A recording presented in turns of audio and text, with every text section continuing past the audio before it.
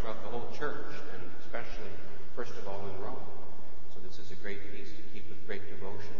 It would commemorate St. Paul, and then today's saints, uh, St. Cyriacus and Saints Largus and Smaragdus.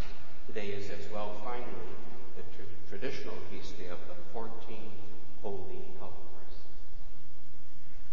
To me, O God, thy saints are made exceedingly honorable. Their principality is exceedingly strengthened. In the name of the Father, and of the Son, and of the Holy Ghost. Amen. Before Mass today, we celebrate, celebrated the devotion of the 13 Tuesdays to St. Anthony. So loved is St. Anthony of Padua throughout the whole church that in some listings of the 14 holy helpers, that is to say, patron saints of certain causes who are especially loved and considered as very powerful in the church, he is listed as well.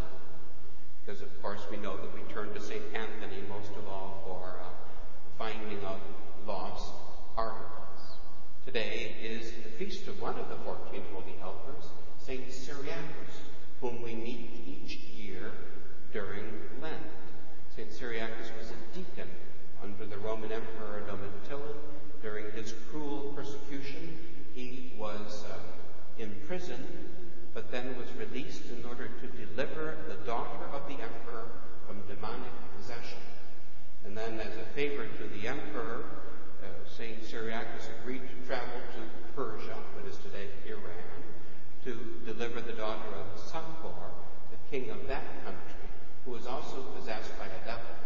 And in the beautiful medieval book, The Golden Legend, we read that when St. Uh, Cyriacus went into the room where this poor princess was, the devil immediately spoke to him and asked him if his journey wasn't very tiring for him, which is which rings true because that's exactly the kind of a remark that the devil might make on an occasion like that.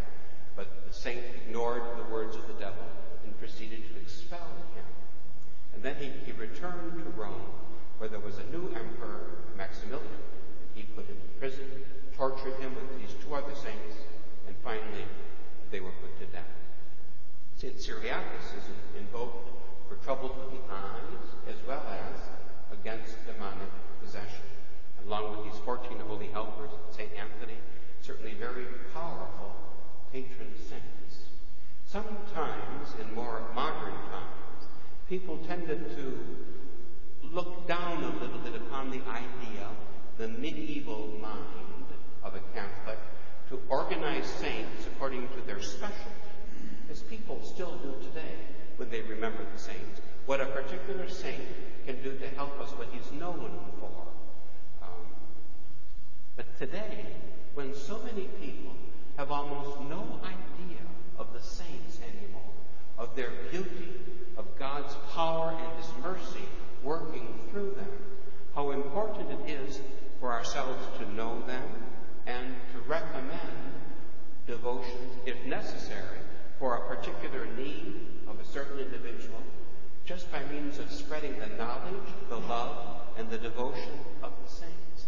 How pleasing this work would be to Almighty God to offset this tremendous religious ignorance which leads to so many people being deprived of God's help because they never think to pray to the saints.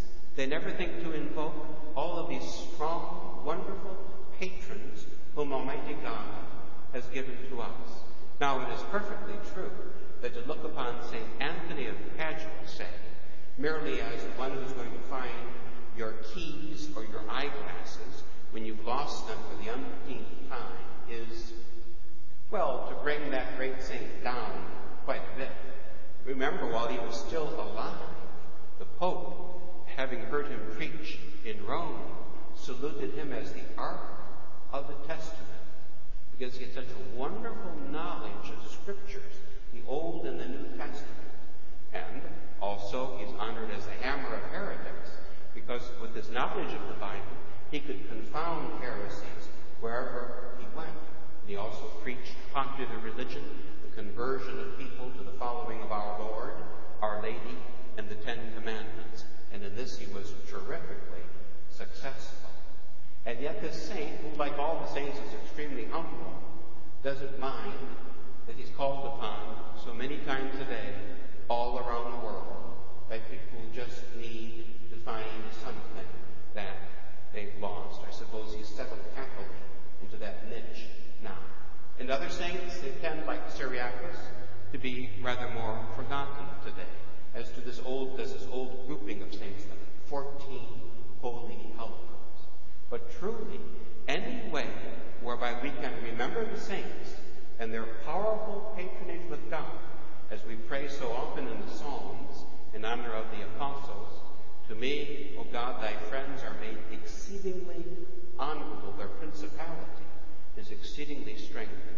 Anything like that gets great honor to God and helps us in our own spiritual life because it makes us realize that there is something outside of us in daily life. It's not just ourselves. The devil, and his message of naturalism, is always whispering that invidious message in our ear. But when we remember humbly to ask God through help, for help through his princes, and that's what the saints are. So many of them on golden thrones, surrounding the adorable Trinity and Our Lady in heaven. How pleasing that is to God. What glory is given to God by acknowledging his work in the saints, humbly acknowledging our need, and confessing too that our Lord hath care of us. As our Lord says, if a single little bird doesn't fall from the sky without the permission of the Heavenly Father, surely He takes care of all of our needs in so many ways. When we acknowledge the mercies of our Lord by asking them for us, even in seemingly small as well as obviously great needs and intentions, God is honored and glorified, and our spiritual lives are bound to develop and to expand and to grow better. Obviously, there is nothing of our traditional Catholic faith and devotions that is not beautiful and holy and profitable to our souls. Know your saints. Know your patron saints. Invoke them in need. And when someone else, promote the devotion. Say, well, say a Hail Mary in honor of. Tell people, that even non-Catholics or Jews, get them to say those prayers. Very often out of interest, they will. How many Muslims there are in the Middle East who visit, say, Mount Carmel and pray to the Blessed Mother and the Prophet Elias, just because that's always been. And how many graces these poor infidels must receive as a result of. God's mercy is infinite. There are very few people who are begging our Lord for mercy today. Let us always be suitors of God's infinite mercy.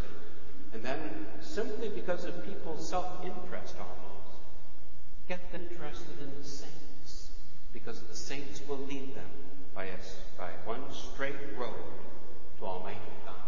God bless you. In the name of the Father,